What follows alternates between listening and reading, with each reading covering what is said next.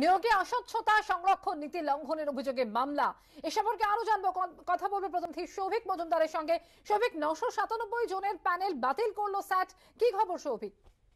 আর দেখো স্যাটের তরফ থেকে এই নশো সাতান্ন জনের প্যানেল বাতিল করা হয়েছে। তার মূল কারণটা হচ্ছে যে, অভিযোগ আনা হয়েছিল যে সংরক্ষণ নীতির যথাযথ প্রয়োগ বা উপযুক্ত প্রয়োগ এই প্যানেল তৈরির সময় করা হয়নি।